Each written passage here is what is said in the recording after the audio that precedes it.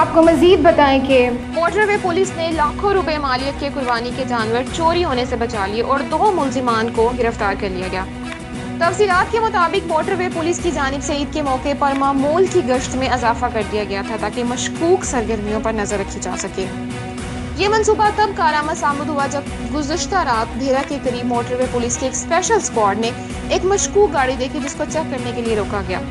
गाड़ी में मौजूद दो अफराद रिजवान अली और मजहर अली से जब पूछताछ की गई तो वो तसली बख्श जवाब ना दे सके और मौके से फरार होने की कोशिश की, जिस पर मोटरवे पुलिस ने इन्हें गिरफ़्तार कर लिया।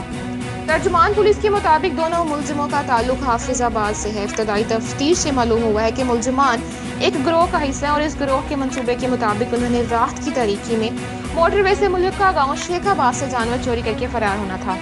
मनसूबे पर अमल करते हुए ग्रोह के दीगर अरकान ने दस अदद बकरे चोरी भी कर लिए थे, जिन्हें मुलजिमान ने गाड़ी में मुंतकिल करना था। लेकिन मोटरवे पुलिस की बर वक्त कार्रवाई के नतीजे में लाखों रुपए मालियत के दस बकरे भी बरामद हुए, जो कि मोटरवे से मुंसलिक गाँव शेखाबाद से चोरी किए गए थे।